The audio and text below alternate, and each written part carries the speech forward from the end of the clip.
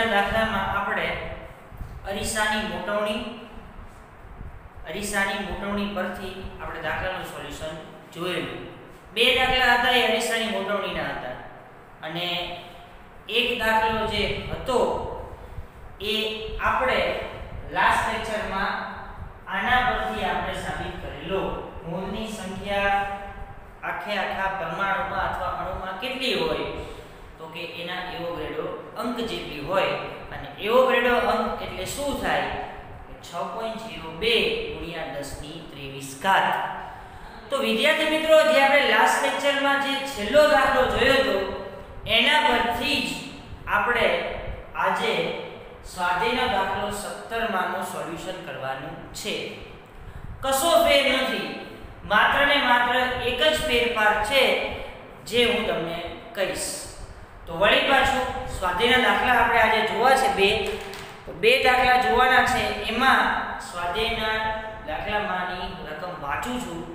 તમે પણ જ્યારે આ સ્વાધ્યાયના દાખલાનું સોલ્યુશન કરતા હોય, ત્યારે તમારે ફરજિયાત ટેક્સ્ટબુક લઈને બેસવાનું થાય છે. બરાબર? તો રકમ હું વાંચું છું સ્વાધ્યાય દાખલા સત્તરમાંની અને આપણે દાખલાનું સોલ્યુશન પણ કરતા જઈએ. તો સ્વાધ્યાય દાખલો સત્તરનો તમને એવું કહેવા માંગે છે કે 1 મોલ આદર્શ વાયુ પ્રમાણભૂત તાપમાને અને દબાણે 22.4 લિટર જગ્યા રોકે છે. સૌથી પહેલા તો વિદ્યાર્થી મિત્રો, આદર્શ વાયુ એટલે શું? તો આદર્શ વાયુ તમારે આગળ જતા ગતિવાદના ચેપ્ટરમાં જોવાનું આવશે એના પહેલા હું તમને અહીંયા થોડીક માહિતી આપી દઉં કે આદર્શ વાયુ શું છે? તો કે જે વાયુમાં મોલની સંખ્યા 1 હોય જે વાયુનું તાપમાન 27 સેલ્સિયસ જેટલું હોય સોરી જે વાયુમાં મોલની સંખ્યા 1 હોય, જેનું તાપમાન 273 કેલ્વિન એટલે કે 0 સેલ્સિયસ જેટલું હોય, તેનું વાતાવરણ એક એટમોસ્ફિયર એક એટમોસ્ફિયર બરાબર 1.05 ગુણ્યા 10 ની 5 ઘાત ન્યૂટન પર મીટર સ્ક્વેર જેટલું દબાણ થાય. મોલની સંખ્યા કેટલી લેવાની? એક. તાપમાન કેટલું લેવાનું? 0 સેલ્સિયસ એટલે કે 273 કેલ્વિન દબાણ કેટલું લેવાનું? 1 એટીએમ એટલે કે 1.05 ગુણ્યા 10 ની 5 ઘાત ન્યૂટન પર મીટર સ્ક્વેર. અને કદ કેટલું લેવાનું? 22.4 લીટર. આ બધા જ માપનનો જે વાયુમાં સમાવેશ થાય તેને આદર્શ વાયુ તરીકે ઓળખવામાં આવે છે. તો આદર્શ વાયુ છે, એમાં બધું જ લાગુ પડતું હોવું જોઈએ. એનું તાપમાન જીવન સેલ્સિયસ હોવું જોઈએ, એનું દબાણ એક એટીએમ હોવું જોઈએ, એનું કદ 22.4 લીટર હોવું જોઈએ અને તેમાં મોલની સંખ્યા એક હોવી જોઈએ. બરાબર? તો આ બધાનો સમન્વય થાય જે વાયુમાં એને આદર્શ વાયુ તરીકે ઓળખવામાં આવે છે. તો આપણને એક આદર્શ વાયુ આપેલો છે જેમાં તમને કદ આપેલું છે 22.4 બરાબર? કાઉન્સમાં તમને લખેલું છે મોલર કદ. તો સૌથી પહેલી માહિતી તમને આપેલી છે મોલર કદ V બરાબર 22.4 લીટર. વિદ્યાર્થી મિત્રો, અત્યારે આપણે લીટર શબ્દ આપેલો છે, લીટરમાંથી પહેલા મીટરમાં કન્વર્ટ થવું પડે. અને જ્યારે તમે લીટરમાંથી મીટરમાં કન્વર્ટ થાવ, ત્યારે 10 ની -3 ઘાત તમારે લખવી પડે. તો લીટરનું મીટરમાં કન્વર્ઝન શું થાય? 1 લીટર બરાબર 10 ની માઇનસ -3 ઘાત મીટર જેટલું થઈ શકે. 1 લીટર બરાબર 10 ની -3 ઘાત મીટર ક્યુબ. બરાબર? તો તમને જે પહેલું સેન્ટેન્સ આપેલું છે એ આવું કંઈક છે. 1 મોલ આદર્શ વાયુ પ્રમાણભૂત તાપમાને અને દબાણે 22.4 લીટર જગ્યા રોકે છે.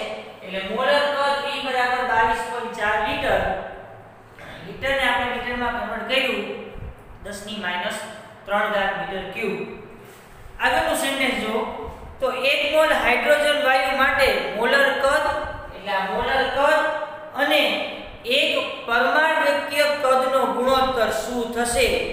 શા માટે આ ગુણોત્તર ઘણો મોટો મળે છે? હાઇડ્રોજન અણુનું પરિમાણ 1 એંગસ્ટ્રોમ જેટલું થાય છે. તો હવે આપણે શું કરવું આ મોલર કદ તો મળી ગયું. હવે હાઇડ્રોજન પરમાણુ માટે આપણે કદ શોધવાનું છે અને પછી બંનેનો શું લેવાનો છે? ગુણોત્તર લેવાનો છે. તો વિદ્યાર્થી મિત્રો, આના પહેલાનો દાખલો તમે જોઈ ગયા. હાઇડ્રોજન પરમાણુનું કદ તમે મેળવી ગયા છો. એની એ જ પદ્ધતિનો આપણે ઉપયોગ કરી અને વળી પાછું આપણે હાઇડ્રોજન પરમાણુનું કદ અહીંયા મેળવી તો લાસ્ટ લેક્ચરમાં જોયું હતું, આના પહેલાનો દાખલો હતો 16મો એમાં હાઇડ્રોજન પરમાણુની ત્રિજ્યા તમને કેટલી આપેલી? 0.5 એંગસ્ટ્રોમ. તો H2 પરમાણુની ત્રિજ્યા અથવા વિસ્તાર r બરાબર 0.5 એંગસ્ટ્રોમ. 0.5 ગુણ્યા 10 ની માઇનસ 10 ઘાત મીટર. એંગસ્ટ્રોમ એટલે મીટર. 10 ની માઇનસ 10 ઘાત થાય. અને એંગસ્ટ્રોમ સેન્ટીમીટરમાં કન્વર્ટ કરો, તો 10 ની માઇનસ 8 ઘાત સેન્ટીમીટર જેટલું થાય છે. થઈ ગયું? તો હાઇડ્રોજન પરમાણુની ત્રિજ્યા અથવા વિસ્તાર r બરાબર 0.5 એંગસ્ટ્રોમ. એંગસ્ટ્રોમ ને મીટરમાં કન્વર્ટ કર્યા એટલે 10 ની માઇનસ 10 ઘાત મીટર જેટલું થાય. ચલો લાસ્ટ લેક્ચરમાં જોયું તો અને પેલો દાખલો તમે તો અણુ અથવા પરમાણુ આકારે કેવા હોય? ગોળ.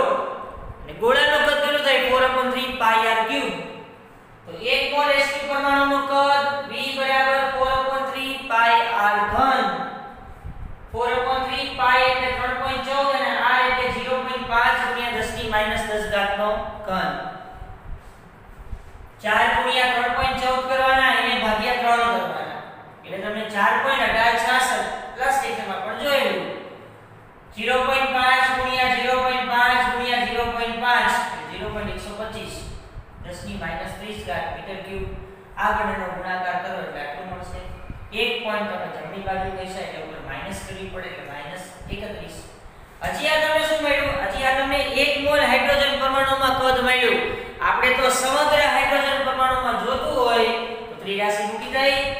એક મોલની સંખ્યા એ કદ કેટલું મળ્યું? 5.283 ગુણ્યા 10 ની માઇનસ 31 ઘાત.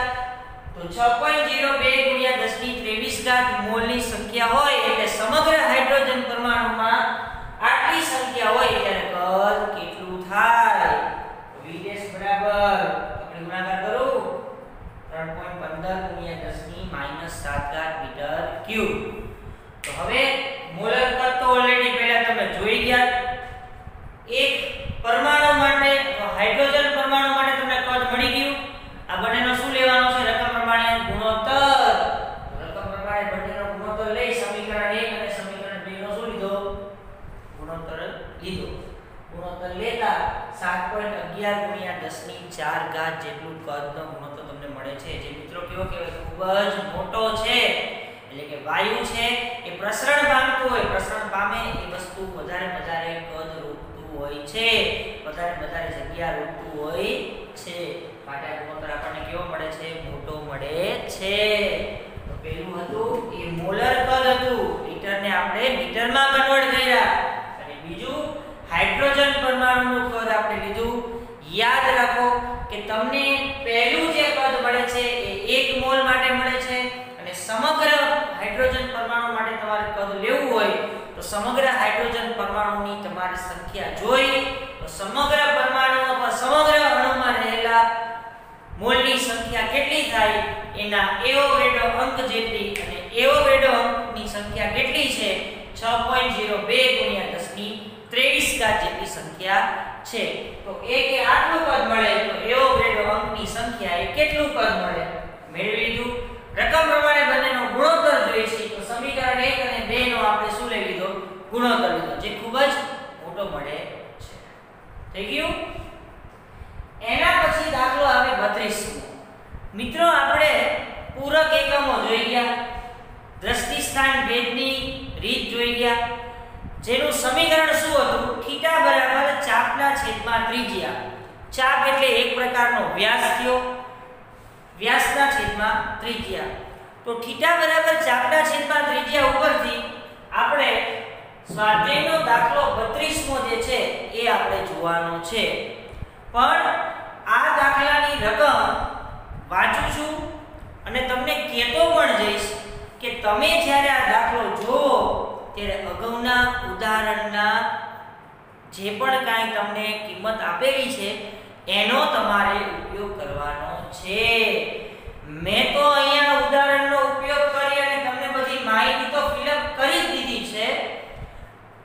પણ તમારી જાણ માટે રકમમાં આપેલી માહિતી મુજબ તમારે એ ઉદાહરણનો ઉપયોગ કરી અને આ માહિતી ફિલઅપ કરવાની થશે. તો વિદ્યાર્થી મિત્રો, ખાસ હું રકમ વાંચું છું, જે ધ્યાનથી સાંભળો અને તમારી ટેક્સ્ટ બુકમાં જોતા જાઓ. આકૃતિ કઈ રીતે બનાવી છે અને લખાણ કઈ રીતે આપણે ફિલઅપ કરેલું છે, એ પણ તમે જોતા જવાનું છે. તો ખાસ યાદ રાખો, સ્વાધ્યાયનો દાખલો 32મો એની રકમ એવી છે કે એ પ્રખ્યાત તથ્ય છે કે સંપૂર્ણ સૂર્યગ્રહણ વખતે ચંદ્રની ડિસ્ક સૂર્યની ડિસ્કને પૂરેપૂરી ઢાંકી દે છે. આ તથ્ય અને ઉદાહરણ નંબર 2.3 અને 2.4 ના સૂચનનો ઉપયોગ કરી ચંદ્રનો વ્યાસ શોધો. સૂર્યગ્રહણ વખતે ચંદ્રની ડિસ્ક સૂર્યની ડિસ્કને પૂરેપૂરી ઢાંકી દે છે. આપણે ક્યાં છીએ? અહીંયા. સૂર્યગ્રહણ થાય છે એની આકૃતિ આપણે ડ્રો કરેલી છે. સૂર્યગ્રહણ વખતે ચંદ્ર એની વચ્ચે આવી જાય. પૃથ્વી અને સૂર્યની વચ્ચે ચંદ્ર આવી જાય અને આ જે સૂર્યની ડિસ્ક છે એને પૂરેપૂરી ઢાંકી દે છે. પછી હમણાં જ આપણે સૂર્યગ્રહણ જોયું હતું. થોડાક ટાઈમ માટે અંધારું થઈ ગયું હતું. એનો મતલબ કે ચંદ્ર છે એ પૃથ્વી અને સૂર્યની વચ્ચે આવી ગયો છે. તો આવી માહિતી પ્રમાણે આપણે શું કરશું? તો કે સૂર્ય તમને ઓલરેડી આપેલો છે. યાદ રાખો, ચંદ્ર કરતા સૂર્ય મોટો છે એટલે સૂર્ય આપણે દેખાય સૂર્યગ્રહણ વખતે સૂર્ય અને પૃથ્વીની વચ્ચે પણ આવી જાય, ચંદ્ર આવી છે. થઈ ગયું આટલું? બીજું. રકમ પ્રમાણે 2.3 અને 2.4 ઉદાહરણનો આપણે ઉપયોગ કરવાનો છે. તો 2.3 અને 2.4 માં તમને શું શું માહિતી આપેલી છે એ આપણે પહેલા જોઈ લઈએ. તો શું માહિતી આપેલી છે? તો કે 1.476 ગુણ્યા 10 ની 11 મીટર તમને ઓલરેડી આપેલું છે. 2.3 અને 2.4 માં આ બંને ઉદાહરણનો આપણે ઉપયોગ કરી અને આ નીચેની માહિતી આપણે ફિલઅપ કરવાની છે.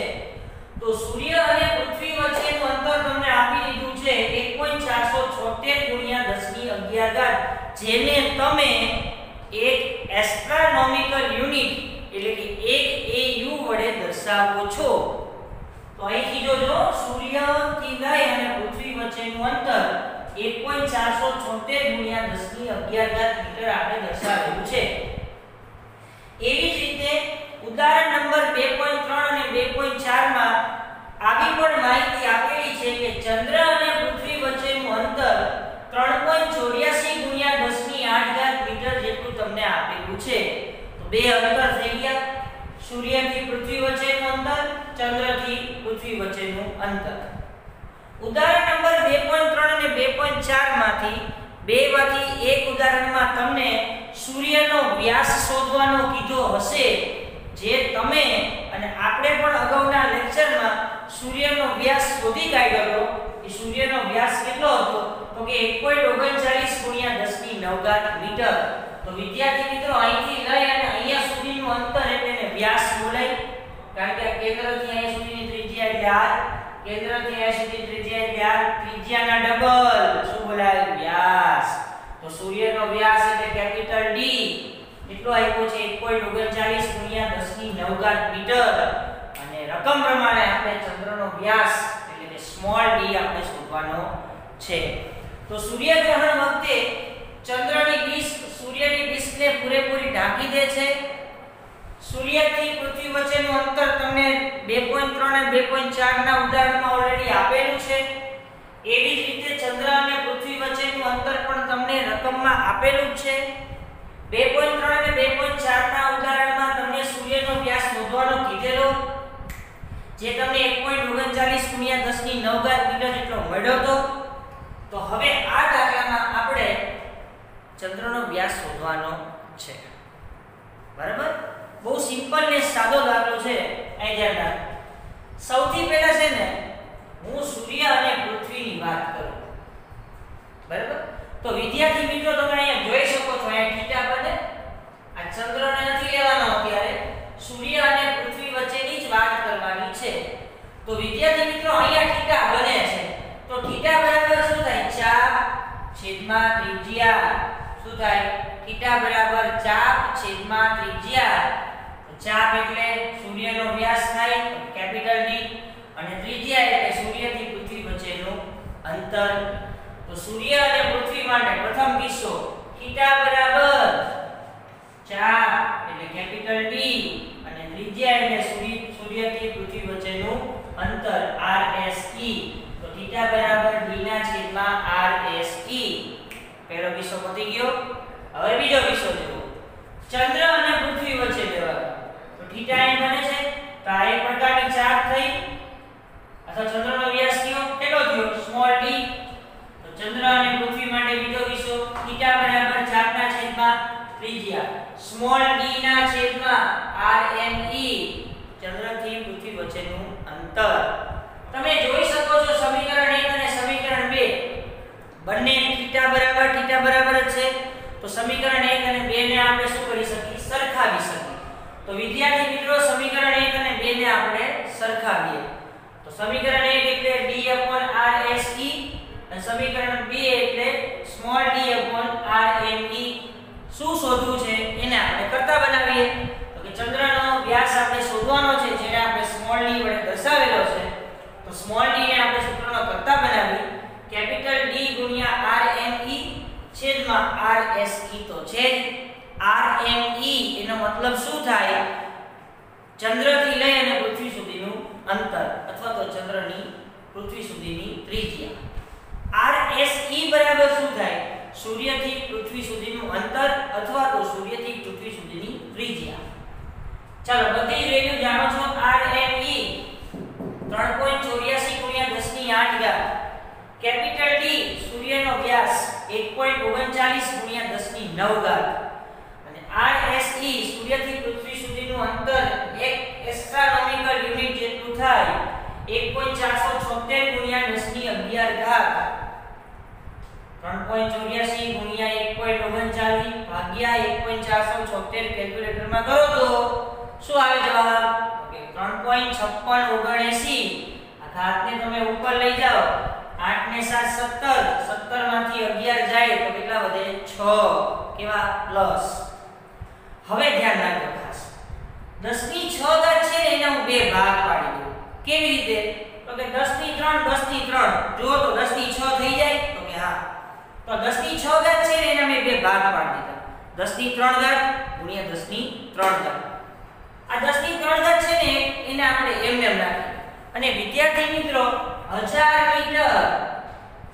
એક કિલોમીટર બરાબર કેટલા મીટર થાય? તો કે હજાર મીટર. હજાર એટલે દસ નો ઘન. થઈ શકે ને? તો હજાર મીટર બરાબર શું લખી શકો? કિલોમીટર. તો એક દસની ત્રણ ઘાત છે ને, એની જગ્યાએ આપણે શું લખી શકીએ? કિલોમીટર. 3.567 ગુણ્યા દસની ત્રણ ઘાત કરો, એટલે હજાર કરશો, એટલે તમને 3567 કિલોમીટર મળી જશે. સ્મોલ d બરાબર 3567 કિલોમીટર.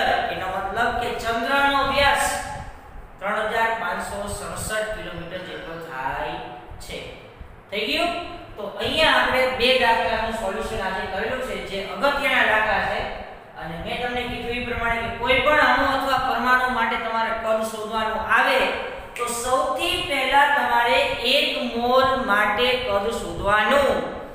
1 મોલ માટે તમને કદ મળી જાય પછી સમગ્ર પરમાણુ માટે તમારે જો કદ શોધવું હોય, તો કોઈ પણ સમગ્ર પરમાણુ અથવા અણુ આવે, એમાં મોલની સંખ્યા એના એવોગ્રેડો અંક જેટલી હોય અને એવોગ્રેડો અંક એટલે કે 6.02 ગુણ્યા 10 ની 23 ઘાત જેટલી સંખ્યા થાય. ક્રોસ મલ્ટીપ્લિકેશન કરો, એટલે તમને કોઈ પણ અણુ અથવા પરમાણુમાંનું કદ તમને મળી જાય છે. બરાબર? તો આજે આપણે અહીંયા એવોગ્રેડો અંક અને થીટા બરાબર ચાપના છેદમાં ત્રિજ્યા વિશેની વાત કરતા દાખલા અહીંયા બે જોયેલા છે. ખાસ યાદ રાખો કે દાખલા જોતી વખતે સાથે ટેક્સ્ટબુક લઈને બેસવાનું અને ટેક્સ્ટબુકમાંથી રકમનું સોલ્યુશન જેમ જેમ હું અહીંયા બોલતો જઉં છું, એ પ્રમાણે તમારે જોઈ અને દાખલાનું સોલ્યુશન કરવાનું છે. નેક્સ્ટ લેક્ચરમાં હવે આપણે સાર્થક અંક એટલે શું? સાર્થક સંખ્યા એટલે શું? અને સાર્થક સંખ્યાના કેટલાક નિયમો છે, એના વિશેની આપણે માહિતી મેળવવાની છે. તો વિદ્યાર્થી મિત્રો, તમને અહીંયા જેટલું આપણે બોર્ડ પર અથવા બોર્ડમાં લખાવી છે એનો એક સરસ મજાનો તમે ચોપડો બનાવેલો જ હશે. જેનું તમારે રોજે રોજ વાંચન કરવાનું છે. ડિફિકલ્ટી હશે તો તમે જ્યારે અહીંયા આવશો, ત્યારે આપણે એનું સોલ્યુશન કરાવી દઈશું. ઓકે નેક્સ્ટ લેક્ચરમાં આપણે સાર્થક સંખ્યા સાર્થક અંક અને સાર્થક અંકના નિયમો વિશે માહિતી મેળવીશું.